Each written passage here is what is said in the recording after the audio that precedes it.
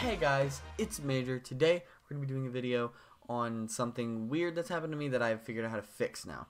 So, uh, those of you that might use Discord will uh, may have this problem. Discord, as you can see, I had no longer have it installed. Now, um, a weird thing that happens is, is uh, like I I just uninstalled it from the computer. Now, if you're having this problem, let me know. You go and you get the new Discord setup because you maybe you were having problems before too. You open it. This right here happens.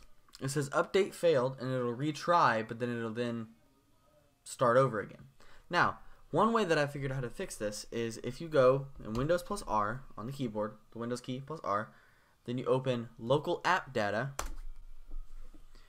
and you go to Discord, you'll see this update.exe.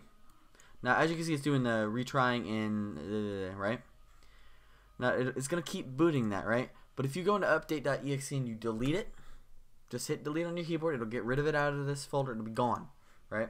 Once this timer gets done, magic will happen. You'll see your Discord will be fixed.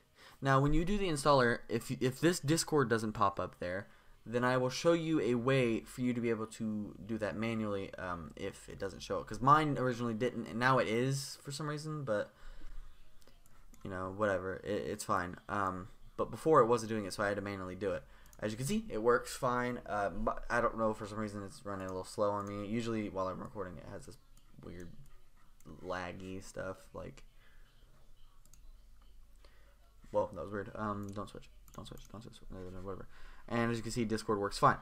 Now, one problem that I also had is do not, when you were done using this setup, do not use it again. Delete it and you know you're gonna have to download a new one. Hopefully they'll fix the problem because I don't know why it's doing that in the first place. But you can see it works, and in, in my case it made a, a, shortcut here that'll open it, yeah, and it'll work fine.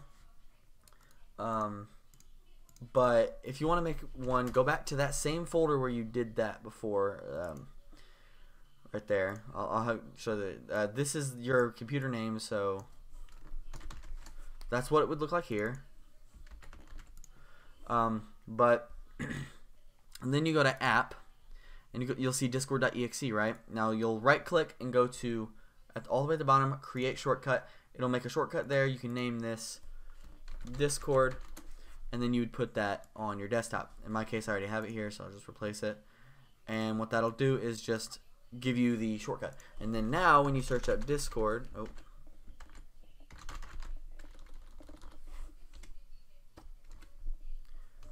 you'll search up Discord and you'll see the app there. Now, like I said, make sure when you're done with this to delete it because you do not need that no longer. So, yeah, it's a simple little thing. Uh, I don't know if this is going to be on YouTube. If not, then I'll probably post it on Instagram or post it on Facebook or Twitter or something. I don't know. Maybe all of them. I don't know.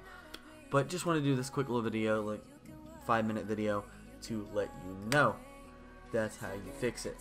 If you guys have any questions, comment down below. I'll try to help you figure it out. If you have any problems with it in the future, I will try to find, find uh, fixes for it.